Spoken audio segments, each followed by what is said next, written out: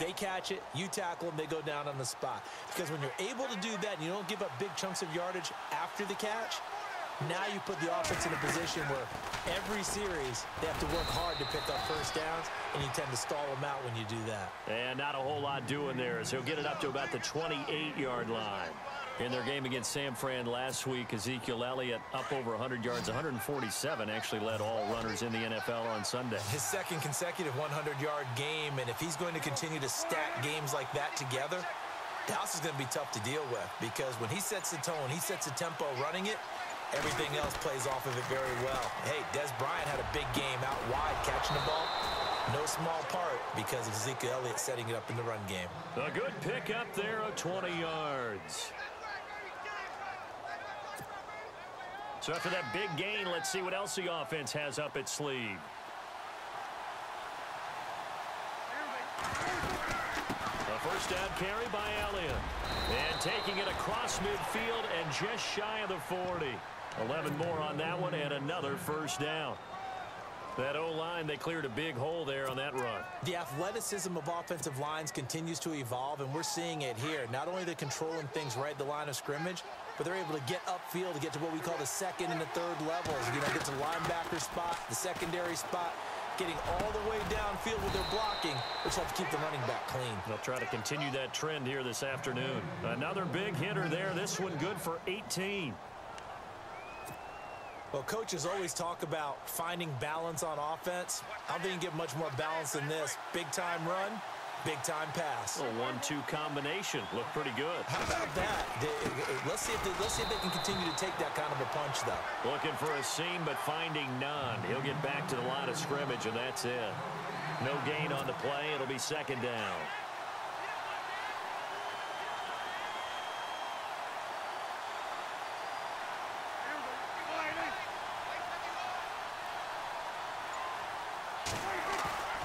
A second down throw for Prescott. Pressure applied, and he's going to be taken down. They sack him back at the 33-yard line. Cameron Jordan in there to drop him, and it'll be a loss of about eight.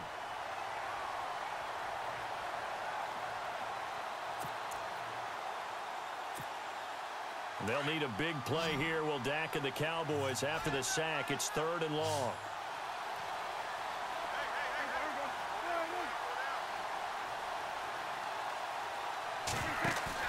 Now it's a bootleg with Prescott.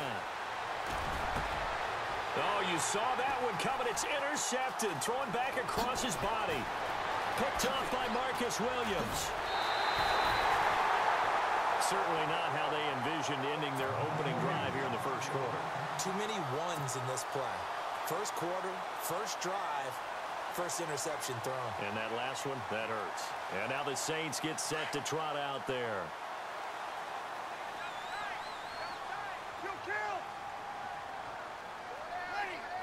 The slot man in motion right. And the former Heisman winner, this is Mark Ingram. And he'll be brought down, losing yardage back at the 40. It's a loss of two there, bringing up second down.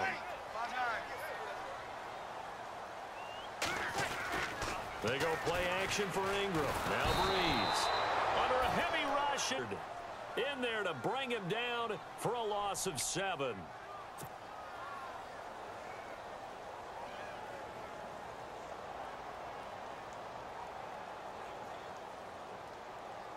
Third and long now after the sack of Brees, and the Saints up against it here. Shotgun now for Brees. And he's got Snead. And he's finally taken down, and it's a big gain there on what will turn out to be the final play of this first quarter.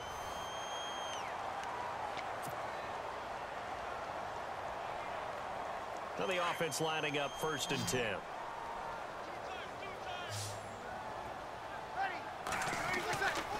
Brees now to throw. And it's incomplete. Boy, he doesn't drop many like that one. Second down. We know it's not an easy job to go out and catch passes when people are trying to tackle you and knock the ball away. But the bottom line is that's a pass he's got to have and a pass he should have caught. Ginn will come in motion right. On second down, Ingram. And he is going to be knocked flat on his back. Oh, a big hit. Looks to be right around the 40. He only got a couple on that one, so not a ton of help. They'll have a third and eight forthcoming.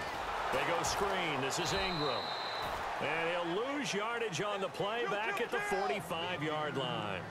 He went backwards five yards there on third down to break up fourth.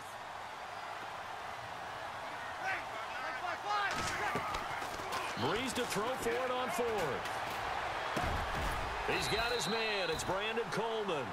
And now this is going to depend on the spot. And they say he's just short.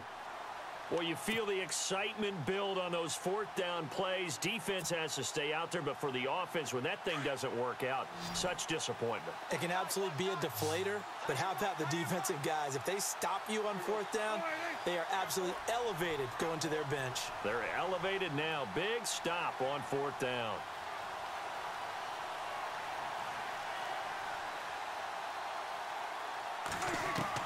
They go back to the air here after the INT on the last drive. And they have possession, and they have it at the 38-yard line. And Brandon, this is a real nice job defensively of getting inside a quarterback's head and figuring out, okay, where is he going with the football? Because you can make an educated guess defensively, not all the time, but sometimes. And when you're right, you've got a decent chance of coming away with the football. Now a play fake here on first down. That's caught. It's Thomas. And he is into the end zone. Touchdown, New Orleans. Michael Thomas, 38 yards. And the Saints are able to cash in for six. And it's good as the Saints have a 7 to nothing lead.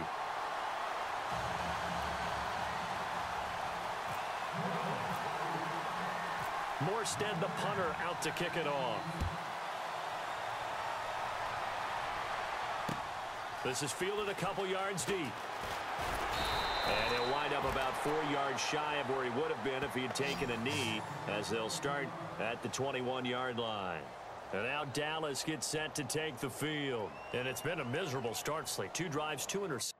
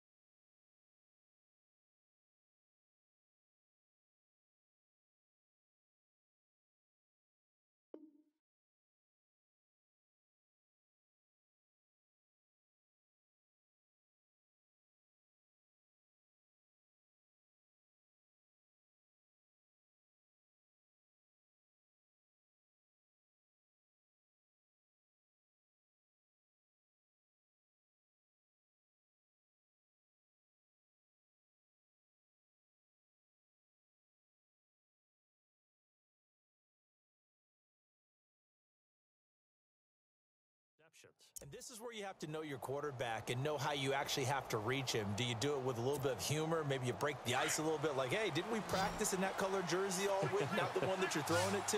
Or maybe you have to be stern with him. But whatever it's going to take to get the message, it has to be done. He's putting the game in jeopardy. Completes it to Jason Witten.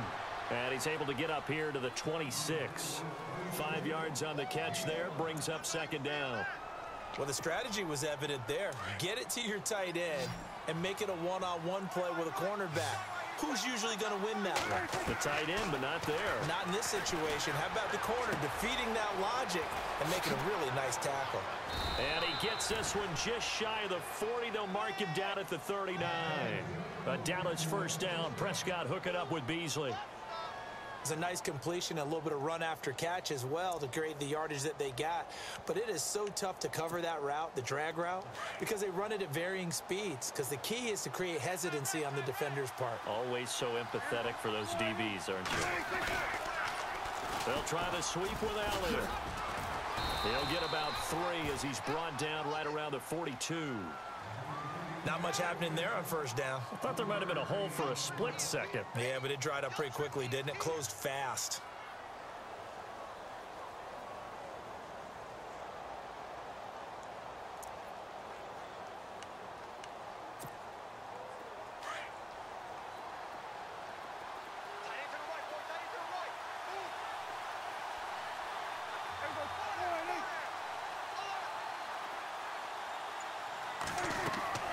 Second down, Prescott.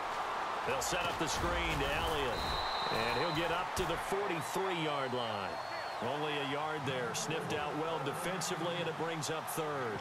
So many things have to come together just right for a screen pass to break for big yardage. The blocking, the timing of the pass to the runner, everything has to fit together just right. But on that play, the defense was able to disrupt things and hold it to a short game.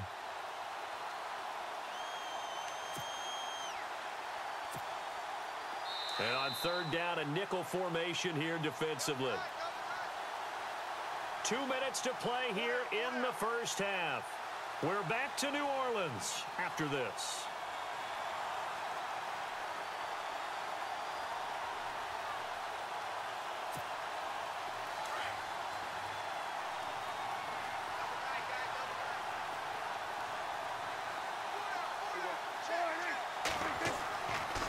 Third down, it's Prescott. And he's taken down here by the Saints. A.J. Klein with a big-time sack on third down. And it'll be a loss of seven. So on fourth down, here's Chris Jones to punt it away. They're going to try and throw. And this is incomplete. A huge gamble, and it does not pay off. They fake the punt. It doesn't work out. Well, not only did they try to fake it, they put the ball in the arm of their punter, and it didn't work out. Not the quarterback. No. The, uh, the punter. Oh, yeah. Yeah. Risky. And, and it's so funny because when it works, genius. When it doesn't work, not so smart. Not so genius. In this case, not so genius, but I do admire that he went for it. And they'll be inside the 35 now at the 34-yard line. Only three there on the screen at second down. In order for a screen pass to break big, a lot of things have to come together and be well executed. But all it takes is one small thing to go wrong and keep it from being a big game. And he gets this one all the way down inside the 15, just shy of the 10. 23 yards on the play.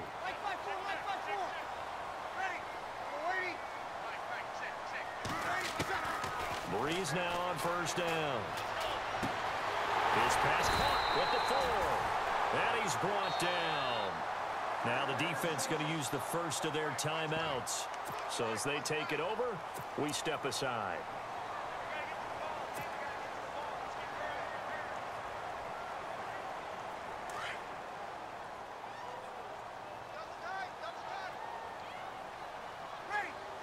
Now they'll put a receiver in motion left. They'll look to run with Ingram. And he is in for the score. Touchdown, New Orleans. Mark Ingram taking it in. And the Saints add on to their lead. And that'll give them a two-score lead here, but I'm looking ahead. They just want to hold it for the final moments here the second quarter. They don't want to give up anything on the other side. No, not at all, because if they don't, it almost had the feel of an imposing their will score. And right now, they want to make sure they keep that and carry it into the second half. Morstead, the punter, out to kick it off. Fielded about a yard deep. Now a hit and a loose football. And he'll score. Touchdown.